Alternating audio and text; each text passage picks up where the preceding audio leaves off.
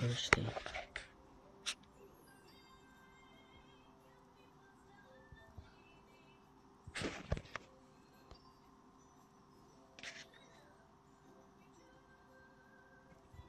Just drinking water.